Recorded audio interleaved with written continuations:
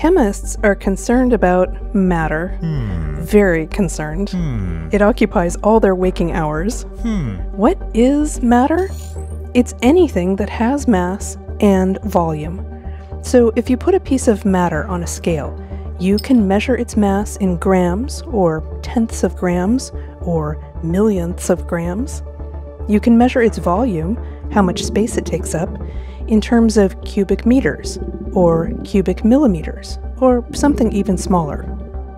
In chemistry, we're usually talking about very small bits of matter, things like atoms and molecules. Here's how we know we're in chemistry world and not the real world. In chemistry class, we're always talking about pure samples of matter. What does potassium do? How does magnesium behave when you put it in water? What's the pH of hydrochloric acid? In the real world, we generally don't stumble upon perfectly pure samples of anything. We have to actually do a lot of work to purify materials before we can study their chemical behavior in the lab.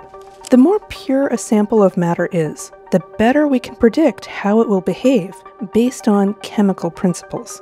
This is one reason why chemists classify matter based on how pure of a sample it is. Here's the basic flowchart chemists refer to when they're classifying matter. You can find this kind of information in your textbook, but to make it easier for you, we've made a free handout that you can use when you solve these kinds of problems. Visit Socratica.com to get your free handout. We'll include a link below. All of matter can be classified into either pure substances or mixtures. A pure substance has a definite composition that doesn't change. That's why chemists want pure substances to work with.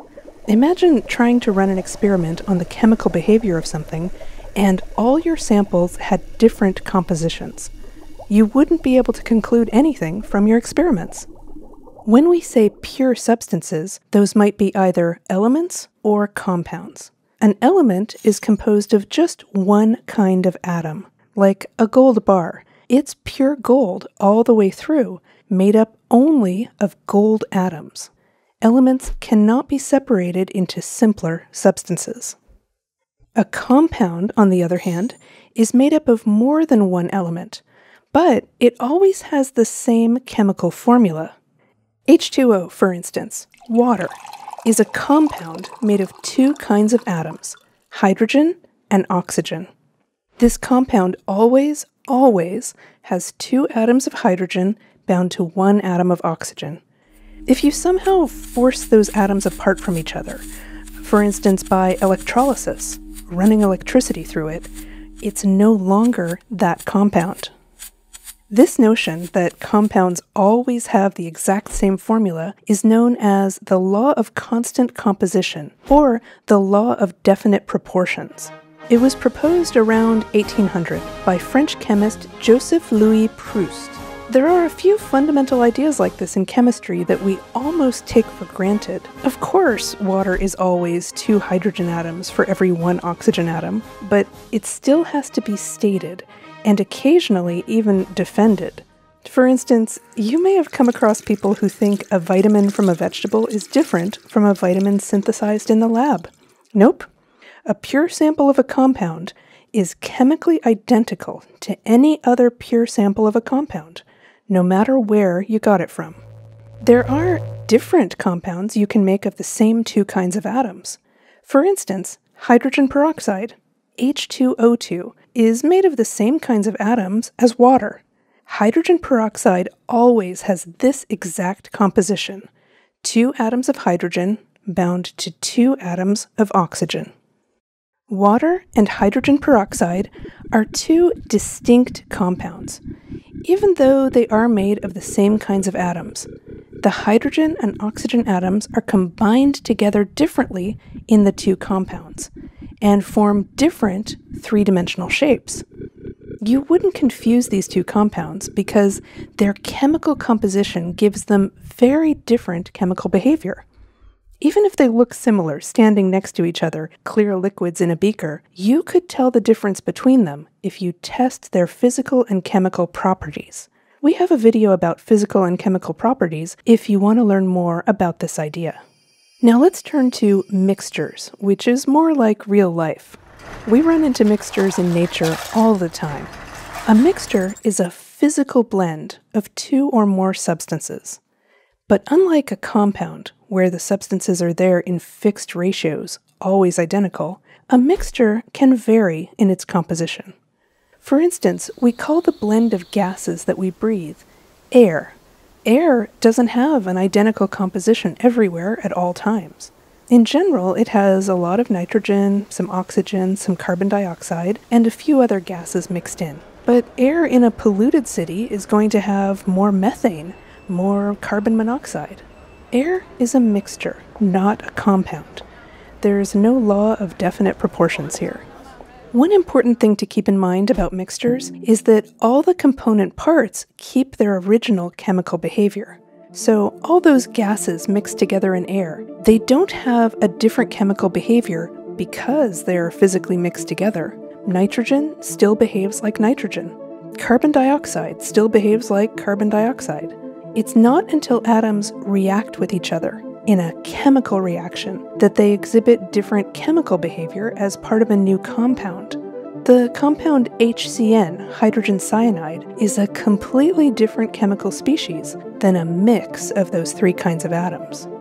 Another real life example of a mixture where the composition varies is lemonade. There isn't a set formula for making lemonade, although everyone thinks their recipe is the best. One classic recipe follows the ratio 1 to 2 to 4 1 cup sugar, 2 cups lemon juice, 4 cups water. That's way too sweet for me. My recipe is 2 tablespoons of sugar, 2 cups of lemon juice, 4 cups of water. My lemonade is tart, but we still call it lemonade. It's a mixture. Chemists also distinguish between a homogeneous mixture and a heterogeneous mixture. Can you figure out the difference between these based on a little etymology? Homos is a Greek prefix meaning the same, and hetero is a Greek prefix meaning other or different. A homogeneous mixture has the same composition throughout. It's a uniform mixture all the way through. Think of when you mix paint, and if you mix it well enough, you get the same color all the way through. That's a homogeneous mixture. A heterogeneous mixture, on the other hand, does not have a uniform composition all the way through. You can identify different phases in the mixture. Think of a bowl of cereal with milk. Each time you stick in your spoon, you'll pull out a different, unpredictable ratio of components. Sometimes you'll get a marshmallow. Tang versus fresh squeezed orange juice. One is a homogeneous mixture, and the other is a heterogeneous mixture. Tang was one of those better living through chemistry products from the 1950s. It's a powdered orange drink you mix into water. It's not very good, but the first astronauts drank it, so I liked to mix it up as a kid and pretend I was going into space. You add a tablespoon to a glass of water, mix it well, and you have a glass of uniform, bright orange Tang. No difference between the first sip and the last. Tang is a homogeneous mixture. Freshly squeezed orange juice, on the other hand, has distinct phases in it.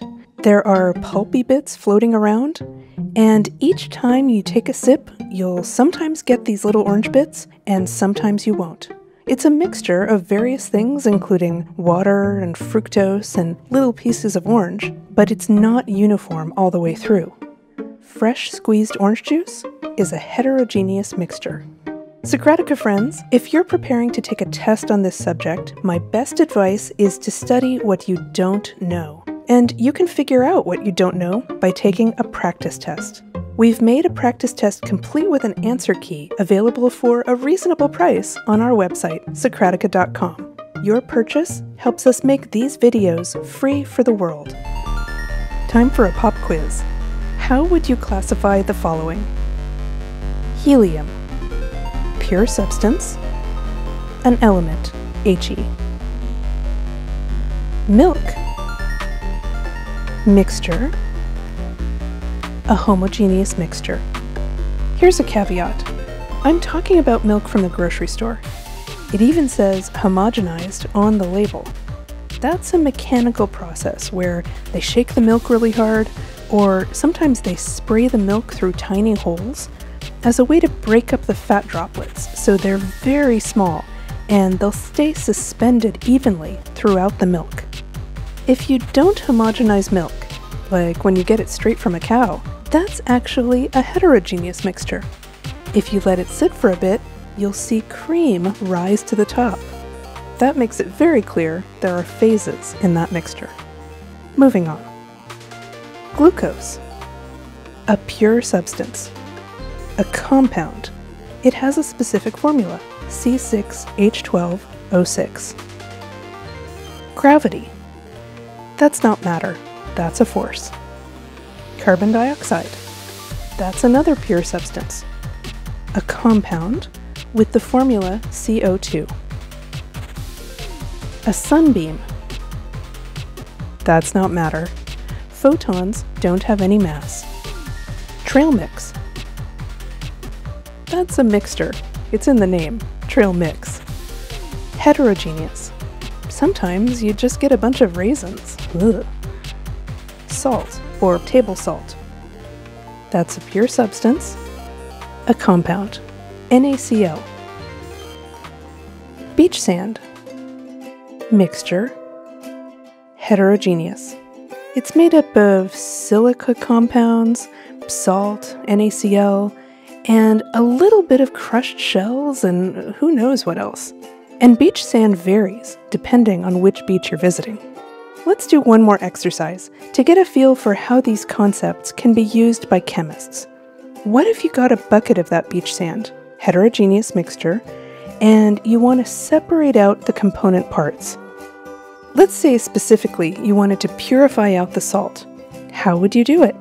You'd use your knowledge of the properties of salt and sand to separate out the components of this mixture. We know that salt dissolves in water, but sand doesn't. So let's add water to the mixture. Now you've dissolved the salt, and you can see sand settling out along the bottom of your bucket. But to catch all the sand, you might want to pour the water into a strainer or filter it through some cloth or a coffee filter, something where the holes are smaller than the grains of sand and little pieces of shell. Just the salty water can run through the sieve. How do we get the salt away from the water? You could boil the water, or just leave it out in the sun for a long time to evaporate out the water, leaving the salt behind. Sea salt. People pay a lot for that in the shops. Remember, you can find bonus materials and practice tests at Socratica.com. Thanks for watching Socratica.